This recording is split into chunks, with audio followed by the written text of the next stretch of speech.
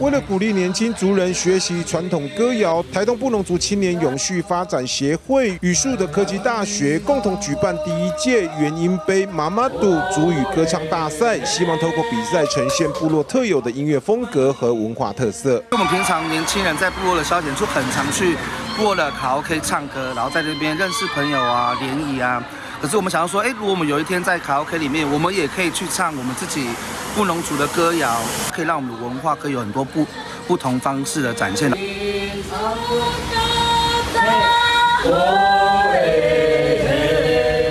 卡拉 OK 举办族语歌唱比赛，现场虽然没有专业的音响设备以及族语歌谣伴唱带，但每位参赛者上台都全力以赴。学生们也希望趁这一次活动，加深对布农族文化的认识。这有很浓厚的布农族文化，然后如果想要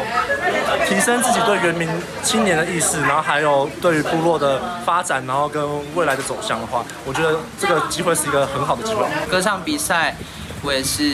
蛮紧张的，也是第一次在大家面前表演。而主办单位也表示，近年来台湾原住民音乐逐渐被国际主流媒体重视，希望透过活动鼓励年轻族人演唱传统歌谣，也期待未来有更多人共同加入学习的行列。原始新闻本家台的版台东延平场报道。